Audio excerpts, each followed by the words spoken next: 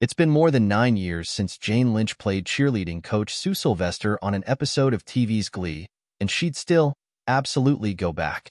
It would be so much fun. The only murders in the building star told people in an interview this week. Lynch won an Emmy for the role of the tracksuit-clad, caustic cheerleading coach in 2010, and she was nominated twice more. It's a great character, and I think that, as she ages 10 years older than the finale, I think there are other things to be added, Lynch continued. I think it would be really fun to play Sue Sylvester 10 years later. She would expect Sylvester to be as cranky as ever and totally unwoke. She would knock that S down.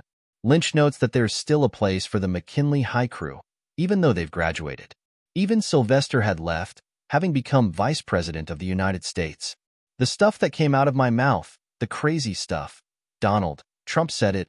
Lynch said, the show is a big deal, Lynch said. The character was a big deal.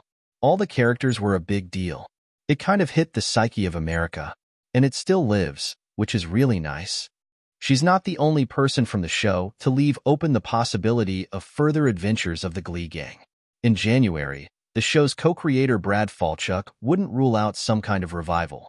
I'm sure everything is always on the table, he told The Hollywood Reporter.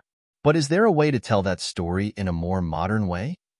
Falchuk, who also wrote and produced the show, elaborated. So much of what Glee was about was really this transition from an old way of looking at representation to a new way.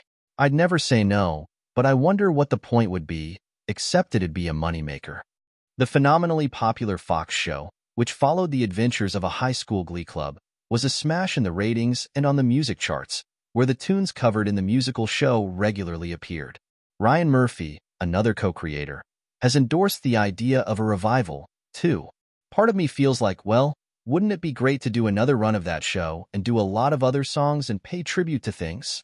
he asked Foppermer cast members Kevin McHale and Jenna Ushkowitz on their podcast about Glee, called And That's What You Really Missed. How fun would that be?